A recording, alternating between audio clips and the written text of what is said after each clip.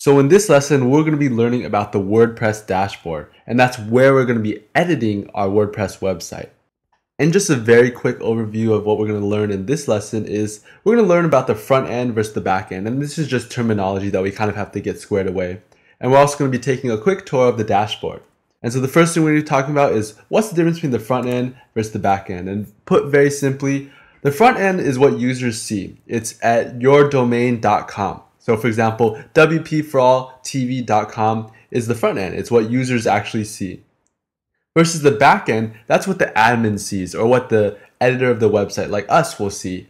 And it's where all the edits and the changes are made and it will be accessed at yourdomain.com slash wp-admin. And that's universal for all websites.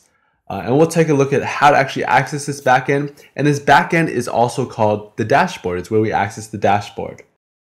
So now that we have this terminology squared away, how do we actually access the dashboard or the backend of WordPress to our WordPress website? And so if we recall from the previous lesson, when we actually installed WordPress, I told you to hold on to a couple things, which was your admin area URL, your username, and your password. And if you didn't copy and paste those somewhere into a note, uh, you should have received an email as well, as long as you inputted a correct email address. Right, so we're just going to pull that up, and we're going to click on the admin area, and when we click on the admin area URL, uh, which is always going to be yourdomain.com slash wp-admin, you're going to enter in your username and your password, and you're going to see something like this with the little WordPress logo up here, indicating that you know this is a WordPress website, and you're just going to log in. So in this next window, you'll see this is actually the WordPress dashboard, and this is where we're going to make all our changes to our website. Any edits, any addition of a new page, a new post, adding pictures, whatever you want to do, this is where you're going to do it if you want to make any changes to your website. And so I'm actually going to go over all these different menu items in the future lessons, but I just want to kind of show you a very brief overview of the dashboard and some things that we need to change right away.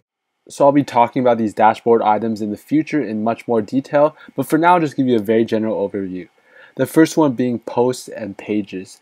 And these are just really where you create content. And the difference between a post and a page put simply is posts are time sensitive. So you can think of them like blog entries versus pages are things that are just static. So it doesn't depend on time. It's not going to show up in an RSS feed. So things like your about page, your home page, things like that. Media is where we're going to be adding images or videos. The comment section is just a place where we can easily read and reply or manage our different comments we may have. Appearance, this is really where we will customize all the different options to our website's design. So things like adding a new theme or changing the widgets or even editing some of the code to it, we can all do that within the appearance section. Plugins is where we're going to be adding new plugins or searching in the plugin directory. And really it's where we add the functionality or add these added functions to our website.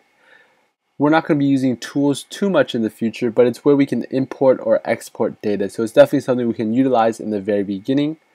And settings is where we're actually going to be customizing things like how we view permalinks, so how we view our actual URL, how comments are displayed or how comments are approved for moderation, things like that. You know, there's a lot of different functionality to the WordPress website and in settings is where we're actually going to specify how we want those settings to display or how to function.